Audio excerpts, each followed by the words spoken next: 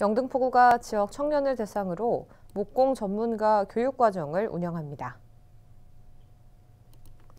교육은 기본적인 목공 재료와 도구를 활용해 간단한 소품을 제작하는 기초반과 실제 가구 제작까지 실습하는 심화반, 목공의 기능사와 가구 제작 기능사 등의 자격증 취득을 목표로 하는 전문가반으로 구성되며 교육 수강을 완료한 수료생에게 목공방 창업에 필요한 컨설팅도 진행합니다.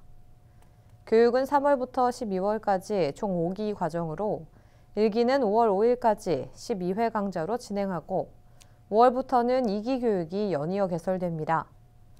교육은 신기 노동에 위치한 몽토부 공방에서 진행되며 교육비는 무료에 재료비는 별도입니다.